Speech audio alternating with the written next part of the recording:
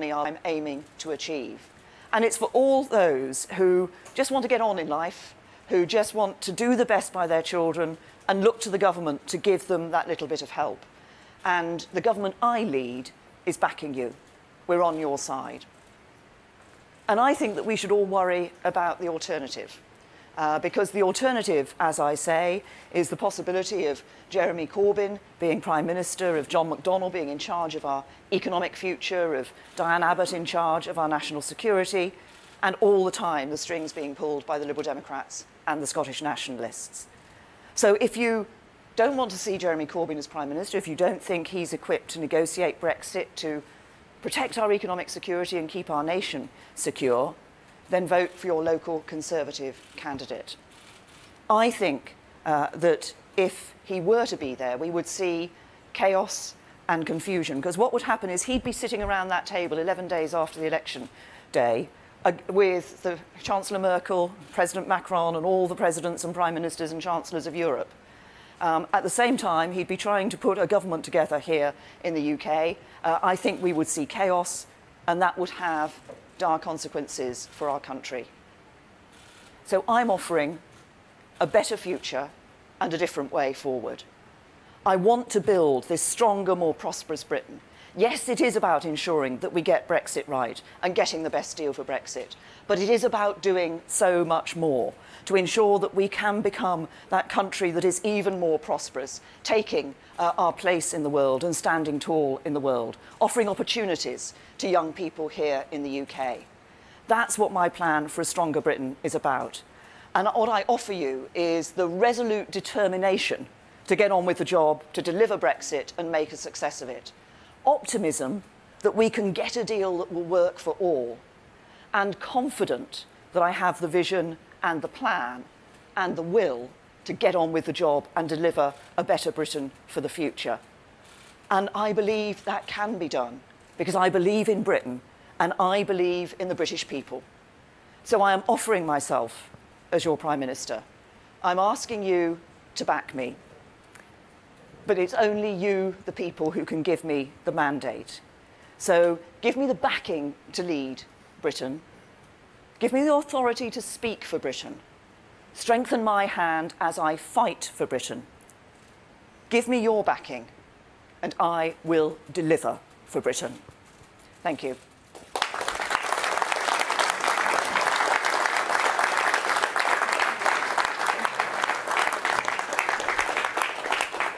Right, does anybody have any, uh, any questions? Yes.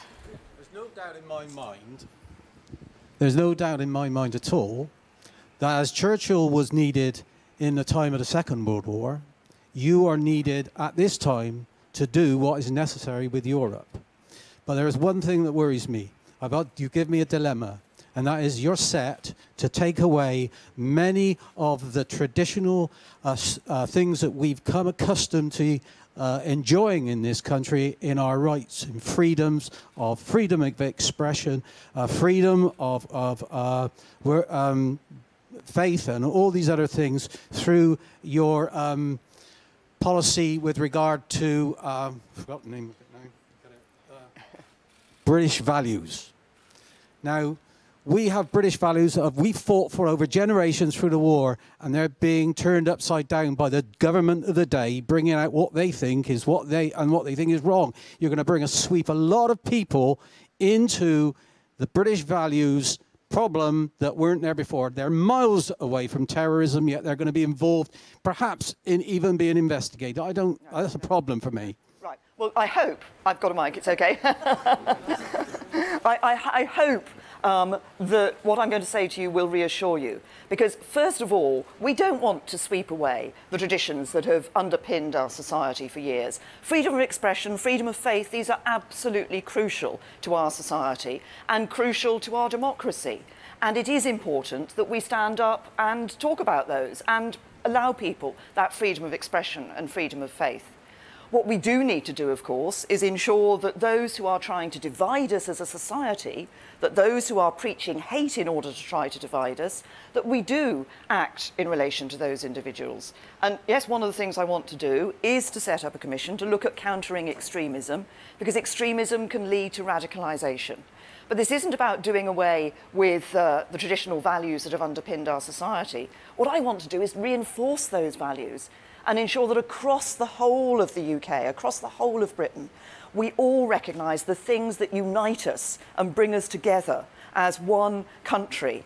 And those are our British values. It is about freedom of expression, about freedom of speech, about freedom of faith, our rule, belief in the rule of law and order, our belief in our democracy. These are all things that actually underpin what being British is about.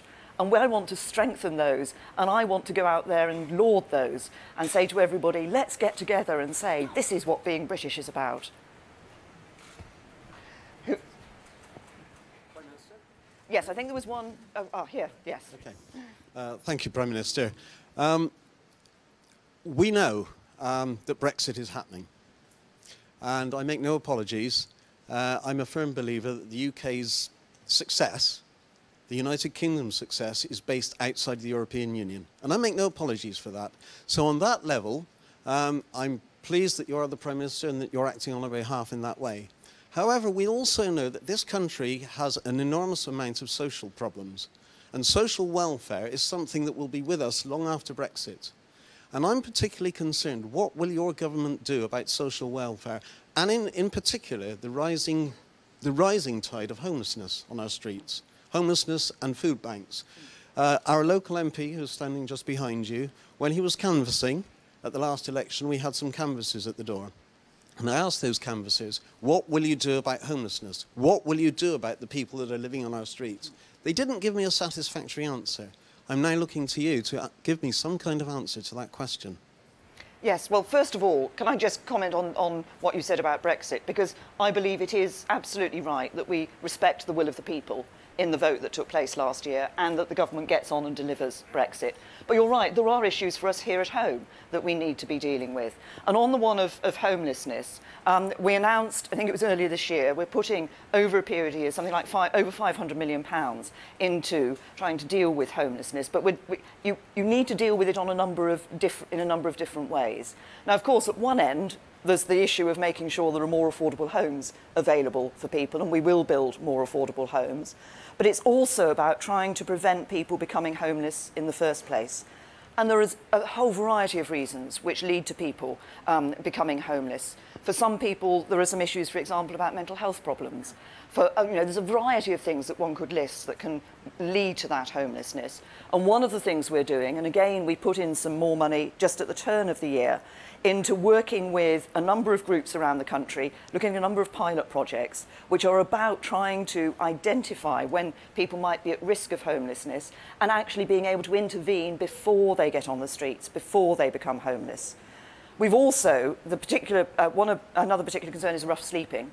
And that's about, and we're looking around the world at some very good practice that takes place elsewhere in the world and saying, will that work here in the UK and how can we adapt that here in the UK? So you're absolutely right to be concerned about homelessness and, uh, and rough sleeping. We're trying to tackle it in a number of different ways, but we have got a number of projects on and we're putting more money in to do it. Is there some, anybody else? Uh, anybody from the workforce before the media? Yes. Um, my local Conservative MP in Chippenham has been very vocal on the subject of fairer funding, fairer funding formula for schools. Yet despite that, the, the headmaster of the local school has written to all parents explaining the impact of the cuts as they will be over the next couple of years. Can you reassure, assure me as to what you will do over the next five years to maybe reverse uh, or address those funding cuts for state secondary schools? Yes. Yeah, I know Michelle's been vocal on it because she's asked me a couple of questions in Prime Minister's questions uh, about it. What we, first of all, we're going to continue to put record levels of funding into the schools. I think it is right that we have a fairer formula for distributing that school funding because we see at the moment there are some schools in the country that get twice as much funding per pupil as others. So I think we do need to make it a fairer system. We, we published a document with a proposed formula in it we got consultation on that. We're now having an election. Um, we will look at the right actual formula to use, but what we're committing to is that no school will lose out in cash terms as a result of a new fair funding formula coming in. But we do want to try to get a greater fairness in the distribution of that funding. But no school will lose out in cash terms as a result of introducing a new, a new formula. Yes. Hello. Over a third of our sales are currently with the EU, and we also purchase items and have customer returns, all moving freely. It is likely that whatever deal is negotiated, the costs associated with these movements, as well as our admin costs, will increase. How are the Conservatives going to ensure that companies like Cross are not going to be disadvantaged? Well, the first thing is that when we look at our trading relationship in the future with the European Union, with the remaining European Union, we want to negotiate a comprehensive free trade agreement, and we want as tariff-free and uh, as tariff-free trade and frictionless-free frictionless borders as possible as part of that agreement. Now, that's about the negotiations that are going to start, as I say, 11 days after the, uh, the election day. Um, so that's what we're working for. And if you think about it, we, there's an advantage for us in the UK in that we've already been part of, as you say, as part of the EU, we're trading freely with people at the moment. We're trading on similar standards and regulations. And so I think that that should be easier for us to negotiate a free trade agreement than for countries that come com- as completely third parties. Um, it, it, it is, but it's about, it's about the negotiations. On the border, because one of the issues you raised is the admin costs, which of course um, depending on how you get the arrangement of trade across the border, that may well be where you're thinking that admin costs might come in. We have a very real incentive to making sure that we see that uh, trade across borders being as frictionless as possible because we want to ensure that we don't see a return to the borders of the past between Northern Ireland and the Republic of Ireland. So we're looking at a whole variety of solutions that could offer that frictionless border for us in the future. But of course, we then have to sit down with the European Union and negotiate that. And that's why I've been saying to people that every vote for me would strengthen my hand in those negotiations, um, because it will be about sitting down and making sure we get a good deal. But remember, it's not just about us trading into them, it's about them trading into the UK as well. And I think there's a benefit to them about getting, arranging a deal that is going to be as frictionless uh, and tariff free as possible, too.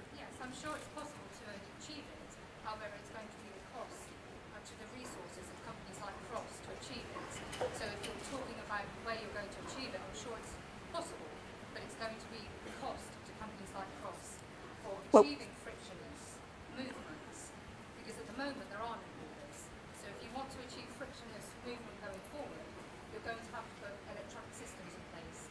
CHIEF is being replaced. There's lots of things that are obviously in your plan to do and are all very good, but they will come at a cost to companies like Cross to implement and to adhere to to achieve the same sort of frictionless movement enjoy at the moment.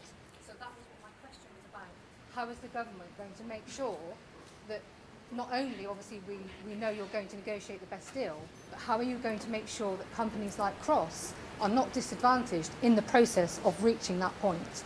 Well, we want to, I mean, first of all, we will work, as we're doing this, we will be working with industry, with businesses across the different sectors to see how we can best do this in a way that is going to cause least disruption and least impact on, on companies. And you're right, we are looking at various solutions in terms of the border, some of which may be electronic solutions to, to deal with that, the variety of issues that we can look at and we'll be negotiating on. But what we want to do is to take, if you like, take business and industry with us as we're doing that um, to ensure that we're working uh, with the grain of business and industry and that we truly understand what the impact of any particular move we make on business and industry will be.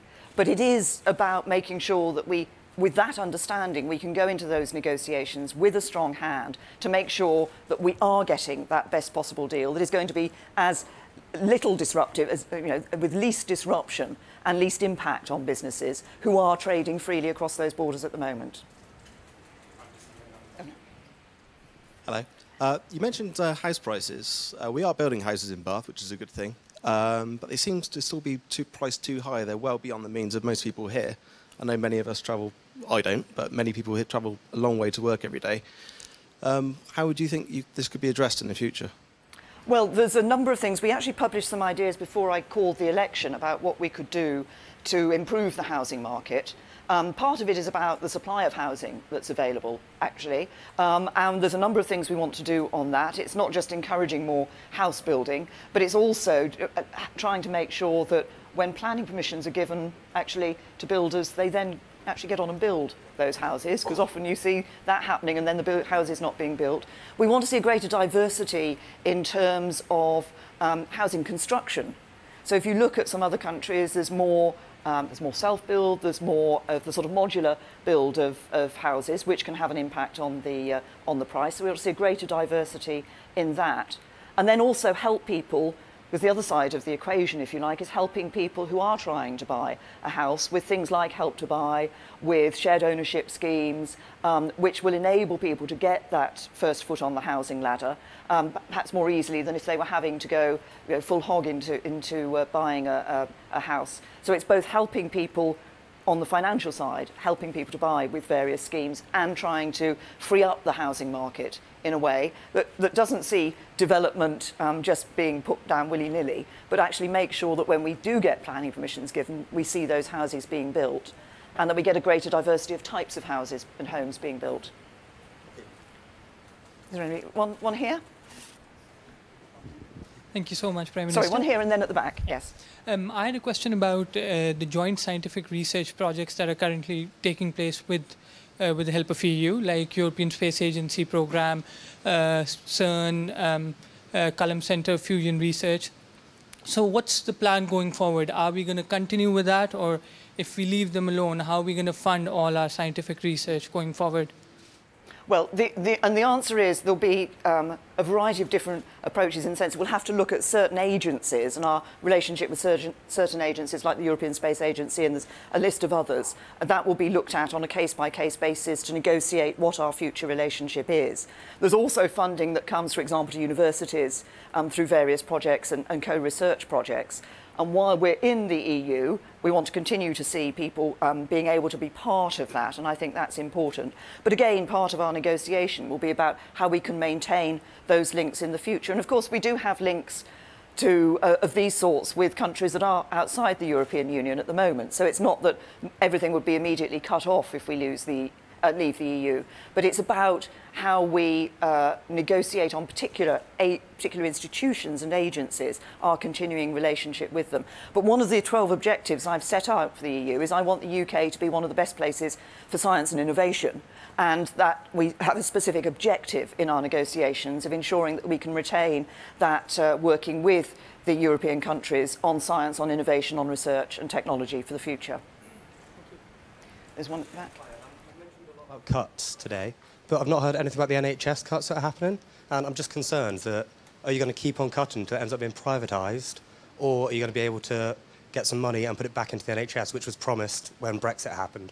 Well, first of all, there is absolutely no suggestion of the privatisation of the health service. We believe in a national health service that continues to be free at the point of use.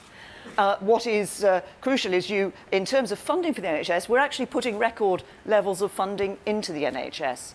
So by 2020, it's the figure that came from the 2015 election was by 2020 an extra 10 billion. We said that by the end of this coming parliament there'll be an extra 8 billion. So that uh, represents uh, real terms increases each year for the funding for the National Health Service. We need to make sure that money is being spent effectively in the NHS. Over, over these five years, we're spending half a trillion pounds on the National Health Service. Um, and uh, we need to make sure that that money is being spent effectively. So we're doing some other things. For example, in the budget, we're putting some more money into accident and emergency uh, so that hospitals can, some hospitals need to adapt their accident and emergency to make sure they're giving patients the best possible treatment. Not everybody who turns up at A&E needs to go into the hospital. It's making sure the patient gets the best possible treatment, and that can free up hospital resources. But we're helping hospitals as they need to do that. So we announced some extra money for the NHS in the budget. But even with that, with all this extra money going in, why are we still in such a crisis then? Well, the, I've talked about the large amount of money we're spending on the NHS. Actually, every year, we're making more and more demands of the NHS. That's one of the issues that we're, that we're facing. And uh, so if you look at the figures, we now do I think it's nearly 12 million operations in the last year, nearly 12 million operations in the NHS. That's nearly 2 million more than were done in 2010. Uh, if you look at how our population is ageing, of course, that also puts uh, a pressure on the NHS. And that's why it's so important to make sure that we are spending the money as effectively as possible in the NHS. But it will be, it will be records amounts of funding going into the NHS in the future under a Conservative government. Was there another question? Any more questions from the workforce? No, then I can go to the media. Faisal. Yes, uh, Prime Minister, if, uh, if you're so strong and Jeremy Corbyn's so weak, as you said, why have you sent Amber Rudd to take on his arguments at the debate tonight? Look. Uh, well, I'm interested, you know, in, in the fact that Jeremy Corbyn seems to be paying far more attention to how many appearances on telly he's doing. I think he ought to be paying a little more attention to thinking about Brexit negotiations. That's what I'm doing to make sure we get the best possible deal for Britain. Laura. Uh, thank you, Prime Minister. But forgive me, on, on the same issue, public scrutiny is a very important part of any election campaign. He's now up for a head to head debate. Doesn't it suggest that you're frightened of taking him on directly if you don't go too?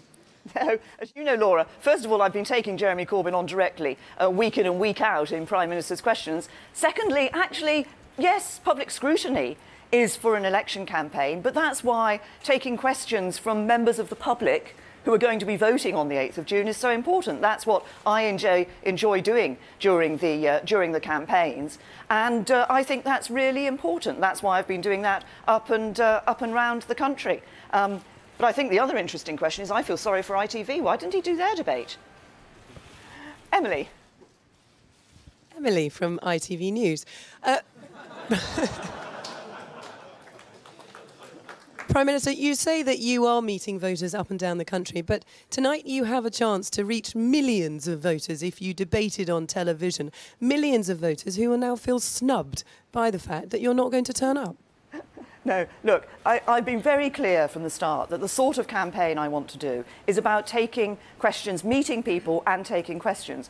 I've not been off the television screens. I've been doing things with, uh, in the television, but predominantly taking questions from the voters and listening to voters.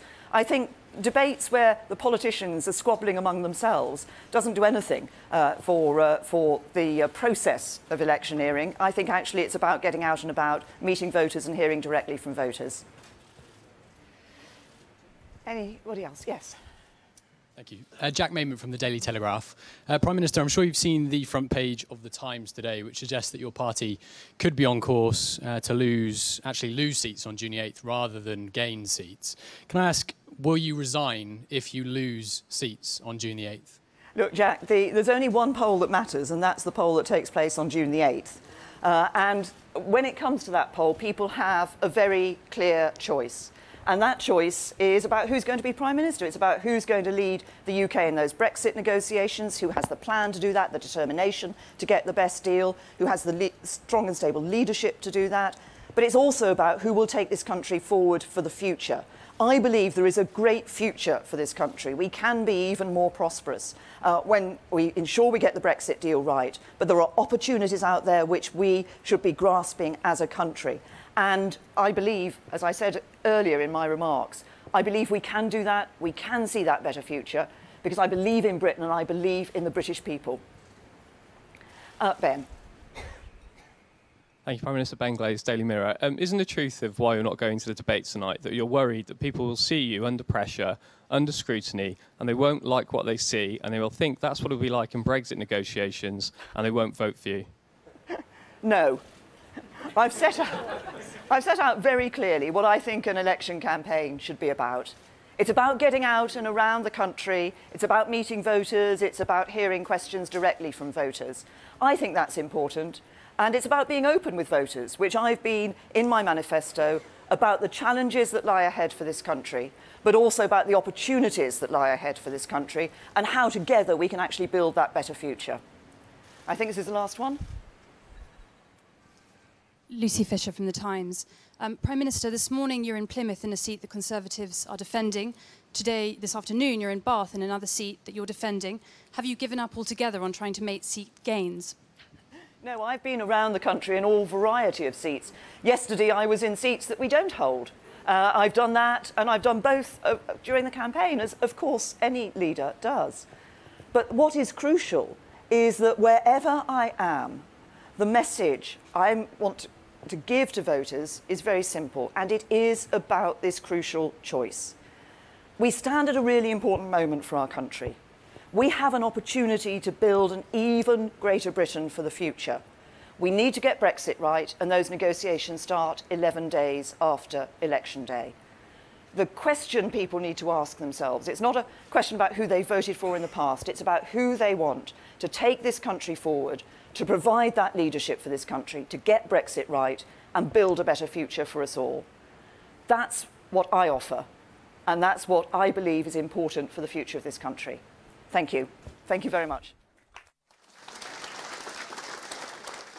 Okay, that's Theresa May speaking in Bath. She was at a factory talking to workers and the media, talking of taking things a little bit in terms of the domestic issues and the domestic policies that the Tories have to offer with education, saying that she will change the current situation where some schools get more money than others. But again, she turned it to Brexit, saying that she believes the UK can make a success of Brexit and she will make a success for ordinary families. And as, and as you heard there, speaking to the media afterwards, including our very own um, Faisal Islam. But let's go to Robert Nisbet, who's also in Bath and um, heard um, Theresa May speaking just a moment ago. And Robert, when it came to the questions, the main question is why is she not attending this TV debate tonight? And um, it was still a, a clear no from her, really, wasn't it? Repeatedly no. Uh, she was under quite a lot of pressure there, I would say, from, uh, from all of the broadcasters and some of the newspaper journalists as well, asking why she wasn't going to be going to this uh, debate tonight now that Jeremy Corbyn has decided to do it. Her response was that she faces Jeremy Corbyn every week across the dispatch box at Prime Minister's question time. Uh, and she repeated the fact that she was travelling up and down the country and talking to real voters, and also saying that opening herself up to questions uh, from uh, uh, factory workers and office workers, as she has done just now.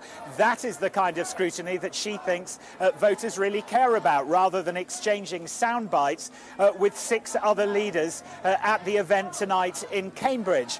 But really, I think it was a win-win for, for Labour by suddenly deciding to go to it tonight, because remember, Jeremy Corbyn wasn't going to be going to uh, Cambridge this evening, because now she's being called a coward, in effect, certainly by some of the noisy protesters uh, behind me and some of the uh, official uh, uh, uh Labour operations. Uh, whereas, you know, if she had decided to go, then she would have been dancing to his tune. so, in both ways, she was put under pressure. and I think that's why she allowed a lot of those quite tough questions, I think, from some of the people who work at this aerospace factory to carry on. Indeed, allowing some of them to follow up their questions. So, one man who asked about the NHS, and she said uh, that there was no uh, danger of it being privatised, that there were record levels of funding going into it, and again, this increasing emphasis on how the money is spent uh, within the NHS. Uh, after he'd asked that question, clearly wasn't satisfied with her answer. She allowed him to come back and I think that's uh, what she has to do uh, to deflect accusations of running scared by engaging in these kind of exchanges with voters. It should be said so. Uh, said though, this doesn't happen every day that she allows herself to be questioned by general members of the public. And remember, there are certain restrictions under which members of the press can ask her questions. We can't grab the microphone, for example, and ask follow-up after follow-up. It is contained in that way, but she has made it very clear today that she doesn't intend uh, to go to the event this evening. So it will be Jeremy Corbyn with the other leaders, but with Amber Rudd instead of Theresa May. OK, Robin Nisbet in Bath, thanks very much. Right, let's change tack to the United States now, where there have been reports for about the last 90 minutes or thereabouts. President Trump is poised to pull the country out of the Paris Climate Change Agreement. At the G7 summit on Saturday, he refused to endorse the landmark climate change accord, saying he needed more time to decide. Under the pact, the United States commit, is committed to reducing its emissions by uh, 28% from its 2000 levels by 2025.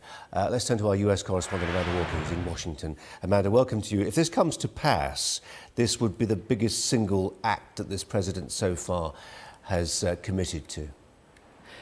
It would. There's no question about it. Certainly the impact that it has, not just on America, but on the rest of the world. So we woke up to a flurry of rumours here this morning, uh, which seems to have built to a consensus that Donald Trump is expected to pull out of the Paris climate deal.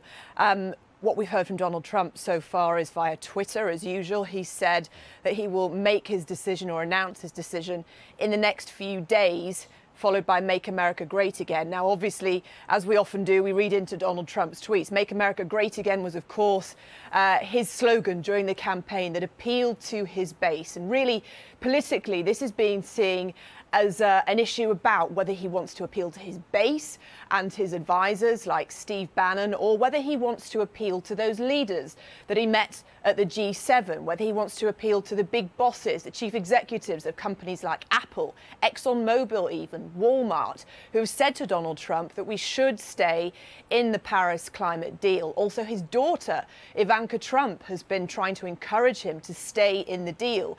So, whatever way he eventually goes, uh, the rumours and certainly the reports coming out of the White House, not officially yet this morning, are that he's leaning towards pulling out, will give a very clear indication as to where he is putting his own loyalty, where he is putting his weight. And that would suggest that at the moment that is going with his advisors, uh, who are very much more isolationist, this America First policy, which is something that Steve Bannon has really pushed, and that his base uh, felt pretty strongly about during the campaign. So he's teasing this out. We've seen this before, for example, with his uh, Secretary of State pick, uh, also his uh, pick for the Supreme Court. He likes the theatre of this. This is a former reality TV star, of course, and of everybody on the climate change side of things saying that this is nothing to play with, this is nothing to build suspense about, this is a hugely